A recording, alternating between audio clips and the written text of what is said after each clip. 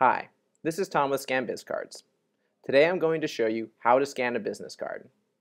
First, open ScanBizCards. If this is your first time opening the app, you'll be prompted to create a free online backup account. Once you reach the home screen, tap Add a new card. Hold your device at an angle and allow your camera to focus before snapping the picture. ScanBizCards will now scan the image, reading all the relevant text. Once the scan is complete, review the scanned information.